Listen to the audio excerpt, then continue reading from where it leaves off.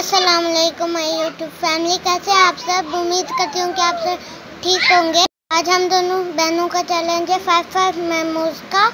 जो विनर होगा तो उसको मिलेंगे फाइव हंड्रेड रुपीज़ तो वीडियो शुरू करने से पहले हमारे चैनल को सब्सक्राइब ज़रूर कर दें।